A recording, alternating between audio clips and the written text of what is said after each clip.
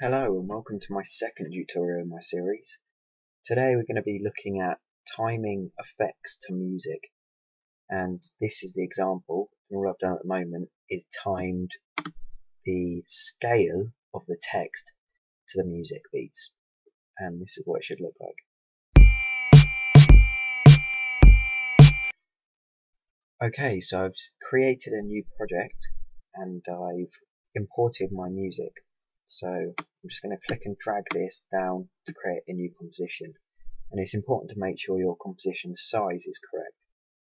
Now what I want to do is if I click on this little down arrow, and go audio again here and waveform, I can then see the waveform of my audio.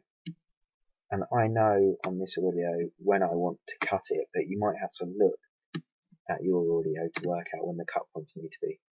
And an easy way to cut this is to go up to edit, split layer, and then just delete this second new layer that's been created.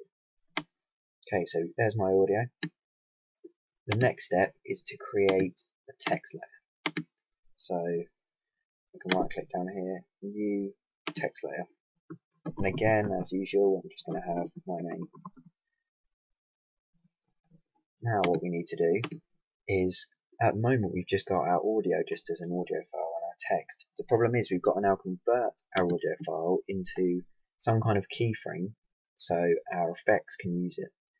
So what we do for this, thanks to After Effects who created a feature for this, if you go up to Animation, Keyframe Assistant, and convert audio to keyframe. So if you click on this, you'll see another layer has been added. If you look, it's called Audio Amplitude. And then if you look on the effects, and down on there here, you see that you've got the left channel, the right channel, and both channels. So you can start off by deleting the left and the right channels at the moment because we're not actually going to use those. And if you go down on this little arrow, you can see you've got a slider, and these are all the keyframes created by the volume of the music. Next, all we have to do is apply our effect to work in time with this audio slider. So how we do this is if we create down on this text layer, and then go transform, and then we just find the scale. If you hold down Alt and click it, you see they come up with these extra options.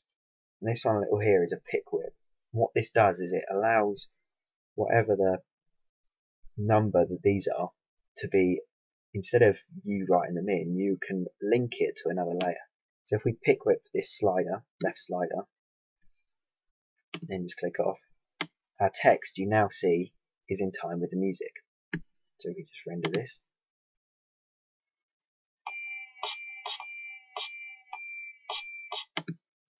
Problem with this is that when the music is nothing, text has actually disappeared. So what we now have to do is click on this both channels slider and open it in graph editor. So if we open up the graph editor, you can see these are the peaks of the volume. So each beat is a peak where the volume peaks. At the moment, our graph starts at zero, but because we don't want our text to be nothing when we have no sound, we have to do is select all of these points and drag this bottom mark up so you can start to see that our text now starts at a range. If you wanted the movement to be more extreme, you could drag the top up and if you wanted it to be even bigger, you could drag the bottom up. The starting position to be bigger, you could drag the bottom up. So now if we render this,